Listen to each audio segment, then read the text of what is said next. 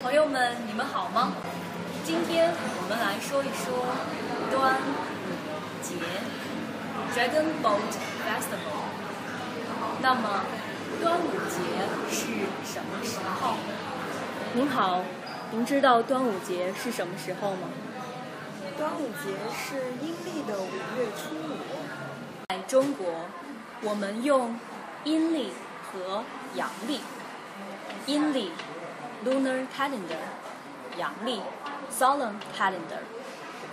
端午节是阴历的五月初五，也就是五月五号。今年的端午节是阳历的六月二十号。那么，端午节人们休息吗？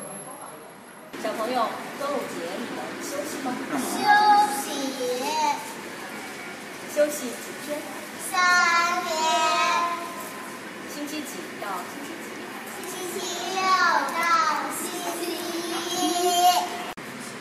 的端午节是一个星期六，人们会在星期六、星期天和星期一休息三天。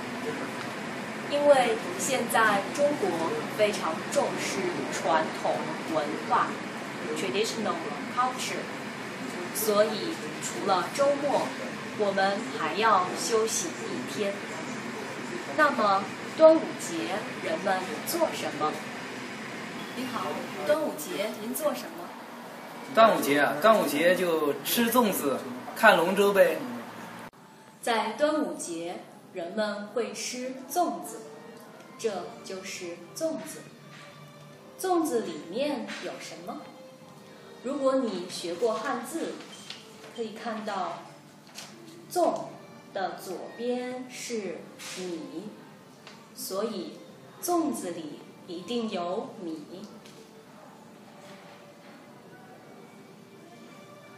粽子里只有米吗？不，里面常常有枣。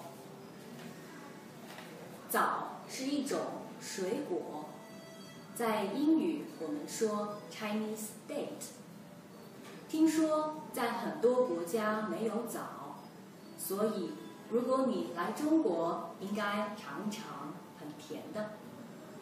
现在也有很多新的粽子，里面可能不是枣，是肉、鸡蛋或者别的东西。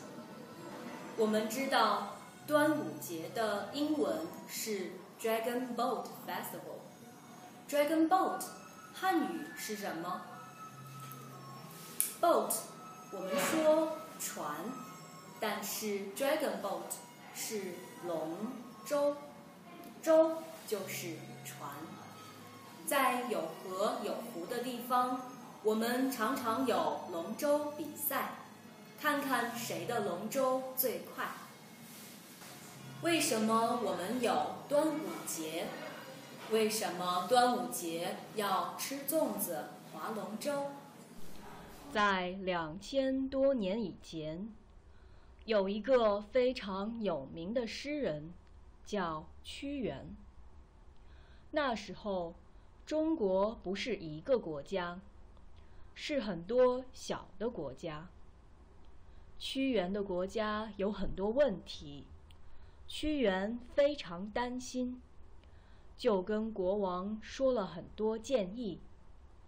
可是国王没有听他的建议，还让他去很远的地方。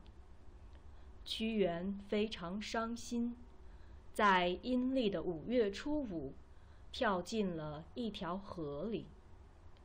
人们知道这件事以后，很难过，划着船在河里找屈原，可是没有找到。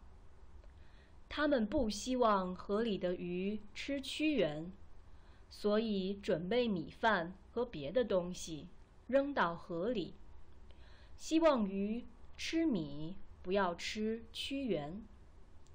现在你明白了吗？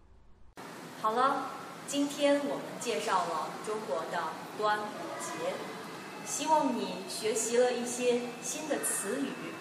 我们来复习一下吧。粽子，早，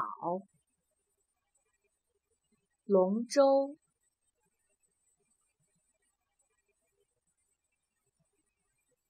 端午节，阳历，阴历，传统文化。端午节人们休息吗？粽子里面常常有什么？